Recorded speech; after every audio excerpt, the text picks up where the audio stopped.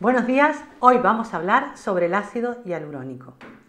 Existen diferentes ácidos hialurónicos con diferentes características que sirven para lograr diferentes efectos. Hidratar la piel, eliminar arrugas finas, aportar esponjosidad, calidad de piel y también dar volumen.